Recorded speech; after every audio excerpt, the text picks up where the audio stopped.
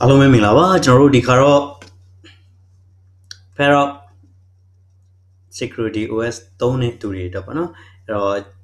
terminal လေးမှာ Parrot ဆိုတဲ့နေရာကြီးကိုဘယ်လိုအစားထိုးမလဲဆိုတာကိုဆွေးနွေးတော့မှာဖြစ်ပါတယ်အဲ့တော့ပုံမှန်တိုင်းဆိုရင်တော့ကျွန်တော်တို့ Kali ရဲ့ terminal မှာ Kali Linux install လုပ်စဉ်ကတည်းကဒီ host name ကိုဘာပေးမလဲဆိုတာကိုကျွန်တော်တို့ရွေးချယ်ခွင့်ရခဲ့ပါတယ် ဒါပေမဲ့ကျွန်တော်တို့က Ferroc Security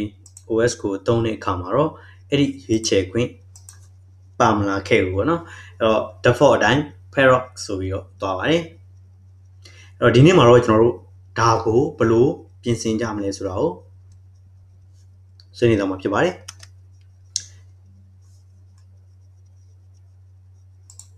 ပထမအဆုံးအနေနဲ့ကျွန်တော်တို့ နော် terminal ကိုဖွင့်လိုက်ပါအဲ့တော့ဒါကတော့ကျွန်တော်က other account အနေနဲ့ဝင်ပြထားတာပါ root user အနေနဲ့ဝင်ပြထားတာမဟုတ်ပါဘူးဒါကြောင့်မလို့ကျွန်တော်တို့ဒီနေရာမှာသုံးမဲ့ command တွေမှာ sudo လို့မယ်ဆိုတာလေးကြိုပြီးတော့ပြောထားပါရစေအဲ့တော့ကျွန်တော်တို့ကဒီ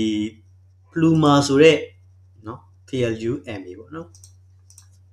pluma pluma ဆိုတဲ့ text editor ကကျွန်တော်တို့ Parrot မှာ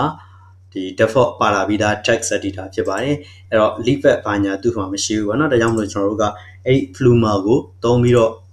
edit လုပ်ပြတော့ပါမယ်ဒါလွယ်ကူအောင်ပေါ့နော်အဲ့တော့ပထမဆုံးကျွန်တော်တို့က sudo အဲ့တော့ sudo command လေးရင်တော့ရိုက်ပါမယ်ပြီးရင်ကျွန်တော်တို့က pluma pluma အဲ့တော့ space ထည့်ပါမယ် /etc/host name host name ပေါ့နော်အဲ့တော့ကျွန်တော်တို့ဒီ sudo space ချမယ် pluma space ချမယ် etc/hostname ကအတွဲလိုက်ပါအဲ့တော့ကျွန်တော်တို့ system တွေက etc ဆိုတဲ့ directory တွေက hostname ဆိုတဲ့ file ကို pluma နဲ့ဖွင့်မယ်အဲ့တော့ဖွင့်တဲ့နေရာမှာ edit လုပ်လို့ရအောင်လို့ sudo permission ပေးထားမယ်ပေါ့နော်ကဲထုံးစံတိုင်းပဲကျွန်တော်တို့ password လေးဖြည့်ရပါမယ်မိမိတို့ password ကိုရိုက်ထည့်လိုက်ပါ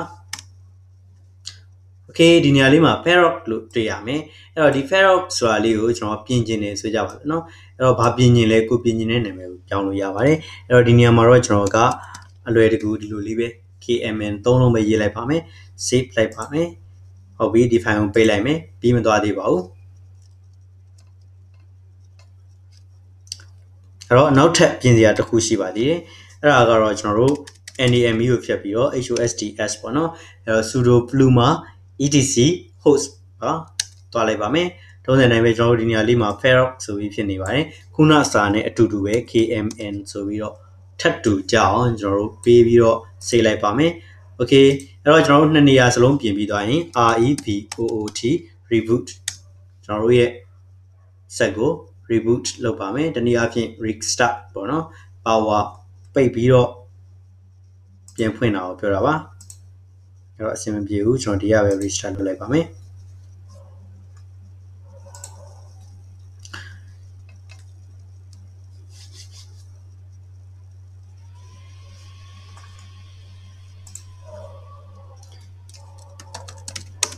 အဲ့တော့ကျွန်တော်တို့ရဲ့